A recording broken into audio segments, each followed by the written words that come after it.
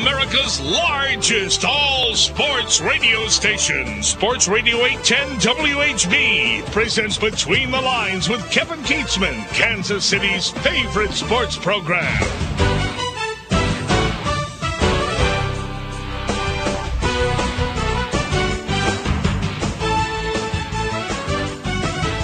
I'm getting tired of You know what? Me too. Me too. Because half the year we have to leave it open or we die in here. So you get Is used to leaving it open. Is that today? well, it was. No, See, that's it's- cracked a little bit. Not today. Look right. at all these Tried crazies running the halls here. True enough. True enough. We don't need to discuss this on the air. We'll I talk know. about this during the next break. Danny. okay. I tend to leave the door open. I'm supposed to shut the door. I forget. Then Todd has to shut the door. So, in the running joke is that Understandably- the door's broken. Danny's not going to close it. Understandably, he's upset about that. I'm not upset. It's just my fun game to play with you. know, I, I, I feel bad, but I just, it's like, yeah, it's like I, if I, you felt bad, you'd change Yeah, it. not your bad enough ways. to stop Not doing bad it. enough. like I spent my entire, for instance, I know we have to get the race. I spent my entire childhood with a refrigerator where the door closed by itself. So you just let it kind I constantly leave the to this day leave the refrigerator door open because I spent the first 20 years well you know off and on I was you know it's my parents house till I was 25 with the refrigerator door that just would close My fridge door makes noise if you don't close it. It beeps. oh mine does too eventually It helps. I thought you were going to say you were born in a barn. That's why you leave doors open. no, my, although my, my dad often did say you were born. Of course, he was one of those psycho people who shut the lights off while you're in the bathroom, you know, in the shower. Saving energy, baby. Dad. Anyway, Men here. Racing boys are joining us now, and they are in a fun spot, which is going to be a fun spot for a lot of people. I Well, they're actually talking about. fun They're an independence. so I know, but- although there's nothing wrong with independence, it is a fun But spot. They're But going they, to talk about a fun spot. guys, I saw a lot of pictures of the Hollywood Casino on Facebook and different places. What did it look like firsthand today? Amazing. I, I tell you, it's a lot bigger than you think. You you think of a, uh small casino outside of turn tub- number two, it's anything but small. Trust me on that one. And the thing that got me this morning is right after they had the uh, dignitaries in for the ribbon cutting ceremony, Clint Bowyer and Kasey Kahne were there, and they cut the ribbon. It wasn't more than a minute later, the doors opened and people flooded in. And two minutes later, you would have thought that casino had been open forever, as full as that was. And the slot machines were going crazy after that. And it's all on one level, right? From what I understand. It is on one level, and Yeah. they've got a beautiful view of turn two outside the sports bar up in the corner. You can go out on a patio. You you might want to go out there now and see what that looks like because I, I think come race day, no chance if you're getting close to that rail. But it is a beautiful facility, and the one thing that stood out to me the most is I was out in Vegas last year for about a week when we were chasing the national tour, and this casino, unlike uh, the other casinos, and they they're all nice around here. Let's make sure we're clear on that. This one has more of that Las Vegas feel to it, maybe more so than the boats that we have down by the river. Why is that? I know they advertise that. They clearly are looking for that. Why do you feel like it has that feel? I don't know. I guess it's just the way it, the layout of it. It doesn't feel like it's. Uh, uh, I don't know. It's just spread out more. Doesn't feel like you're on a boat. It doesn't feel like you're on a boat. I guess really is what I'm trying to say. It doesn't feel like it's narrow. You know how you've got that narrow feeling of the boats. And they're kind of just square. Uh, the the uh, the way they've done the uh, the decor of the place is just unbelievable. Really. Well, When- it sounds great. Um, the idea today was it, it's open for business. They're out there going, but this project is not done yet, right? Uh, they still got a little bit of work to do. The casino itself, I mean, it, it's all finished. Now, someday they're going to add a hotel and they're going Right. to add some other amenities, which the, that was in their original plans. They had to scale that back when the economic crisis came here four years ago. So Hollywood Casinos stepped in. This is a 50 50 project between the International Speedway Corporation and Penn Gaming. And of course, uh, there was a big. Uh, uh, competition for who was going to be able to build the casino out in that area. And of course, uh, as we all know, Kansas Speedway won that. Uh, this really will set this facility apart from any other motorsports facility in America with this casino uh, hovering right over turn number two. Uh, it is uh, a quality project. Lisa France Kennedy, who is part of the France family, uh, she was in attendance today for the ceremony and talked about how this is such a big thing, not only for Kansas, but also for NASCAR.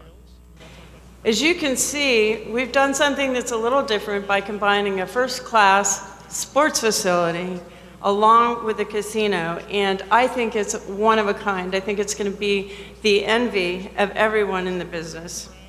Our continued uh, partnership with the state and the unified government started many years ago, and we had a mutual vision to create a true destination for visitors all over. When we first started, and before we put the shovel in the ground um, on the Kansas Speedway, there was very little out here, and this area has been so supportive with the tourists, with the race fans, that we just want to continue building on this.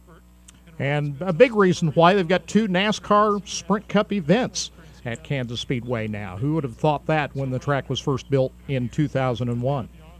You mentioned the sports bar on turn two and the fact that they have the deck and that it would be uh, a tough place to get to on a race day. Is that the type of thing that they would probably use for a private, you know, private party or something like that? I, I can't imagine they're just going to say first come, first serve to the sports bar gets the rail. It doesn't sound likely to me, but did, you, did you hear anything about that? No, I didn't hear anything about that, to be honest with you, Danny. I would assume that there's going to be a priority of who gets out there first, but I'm not sure how they're going to uh, decide who that is, though.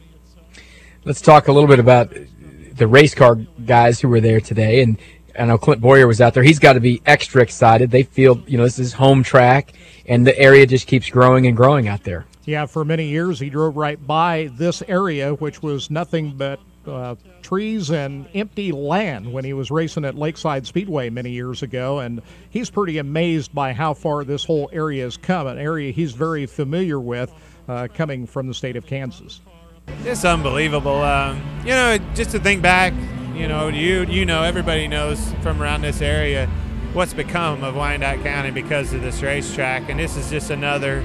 This is the next chapter. It really is. And what a great venue for, for a race fan to come watch us race, put on a good show on this racetrack, come over and enjoy, you know, this casino. It's unbelievable. It truly is like a Las Vegas casino. Reminds me so much of, of walking into Vegas and uh, it's right here in our own backyard in turn two. That is Clint Bowyer, and he, along with Kasey Kahne, were both out there. But I think it's got to be more special to Clint, having come from just down the road and familiar with the area. It's his home track. What uh, what news are we getting here as we're working our way towards uh, Daytona? Well, I think the the biggest news is fuel injection and how the drivers going to work with each other. They've they've got a lot of things they've changed since last year. I mean, if you look at the front end of these cars, they've made it to where they're going to overheat a lot quicker. You know, they used to be able to carry five gallons of, of water in the radiator. Now they're talking two, and, and they've changed the pressure of the radiator cap. It's not really a radiator cap, but that's the best way to explain it. To where if they do draft with somebody too long, it's going to start spitting out water and cause the car to overheat. And once you start spitting out water with only two gallons, it's only a matter of time before you start losing horsepower and then ultimately you're going to lose the motor. So they've got that going on. They've got the fuel injection going on. They've changed the rear springs. There's so many elements they've changed to restrictor plate racing down there. They've added a little more uh, size to the whole of the restrictor plate. You know, cars were running 206 mile an hour down there at Daytona during practice. I think they're going to slow them down, try to get them just a little bit under 200. I, I think they would prefer to see them about 198 200. Not that that makes a big difference, but uh, it makes NASCAR feel better about it. So a lot of storylines. We really don't know if we're going to still see these two car drafting uh, for you know what, maybe a lap or two, and then they're going to switch. And when these guys start switching positions and the lead car needs to fall back and be the car that pushes, that's when you're going to have problems. And especially if these guys are going to run in big groups of cars. And that's what NASCAR wants. That's what the fans want. They want these guys to run in giant groups, and we'll just have to see uh, what happens on yeah. February 26th. So you get the 43 cars out there in race conditions. Really, no, you don't before that, I think in the Budweiser Shootout, which is coming up the Saturday uh, a week before the Daytona 500 with probably half the field than you'll see in the Daytona 500. You get some kind of an idea. And of course, they'll have the Gatorade Duel qualifying races the Thursday before the Daytona 500. But really, until they get out there and start racing each other, we don't know what they're going to. You know, Scott just mentioned the fans have voted they like the big packs of cars, not yes. the two car tandems. They've got rid of the radio communication between drivers. I like that. We don't need drivers to be communicating with each other. They're supposed to be competitors out on the racetrack. So uh, it's it's going to be an interesting speed weeks for sure to see what kind of racing we'll get with all of these changes. Specifically, you guys got to, to talk to Clint today about the you know the casino and everything that's going on out there. But what's he think about this this season coming up? He got only one win last year on Sprint Cup, but it was a restrictor plate race, right? He won the the fall race Talladega. at Talladega. Mhm. So you know, how's he feel about his future right now? I think he's got to feel optimistic. I really didn't talk to him much about that today, but we did talk to him a couple weeks ago. And, you know, I was telling Kirk today at lunch, I, I personally, I feel that Clint Bowyer's got a chance to win a race or two, and I think he still has a chance to get into the chase for the championship. Are they championship caliber team? I'm not sold on that yet. But they have improved the quality of teammates when it comes to drivers. You got Mark Martin, you got Martin Truex Jr., who has been the guy that's been with that team for a couple years. But you throw Mark Martin in there, I mean, uh, that guy is somebody that the young guys can lead on and, and get advice. And let's face it, you know, Toyota has has uh, had pretty good programs over the years, the last couple years, and and I've got a feel that uh, with the power that they make and the way the cars handle, um, and we saw it last year with David Reutimann, we saw it with Martin Truex. Uh, we saw these cars qualify good. I think Martin Truex had three top fives, so the equipment's good enough to get up there. Now they've got better drivers. Let's just see if they can close the deal and start Yeah, picking it- up some wins. It's just a big change for Clint. You know, since he got started in NASCAR, he was with Richard Childress Racing, and of course, that ended at the end of last year, moving over to Michael Waltrip Racing, new manufacturer, new everything, new crew chief. Uh, I think he's happy. He's in a good mood. I think he feels good about uh, his new crew chief, Brian Pattie, and how they're going to be able to work together. But uh, it's it's a career changer for uh, Clint to see, and I think he's probably up there uh, with a team that you wouldn't think would have a lot of resources, but they actually do. And they were on the cusp of uh, contending for chase spots here in the last couple of years. David Reutimann's won a couple of races, so uh, it's going to be really interesting to see how he does right out of the boat, right out of the gate at Speedways, because Clint really does well on these restrictor plate I- tracks. I'll pick him to win two races this year. Let's talk a little bit about Carl Edwards. Uh, he's the one of our local racers who's announced that he's not going to run nationwide. Is that isn't that correct? That is correct. Right. And what do you think is, you know, you see some guys who are really successful when they do that, like Kyle Busch. Uh, a lot of guys shy away from it. Some other guys like it. What do you think his reasoning is, and do you think it will his reasoning will be effective?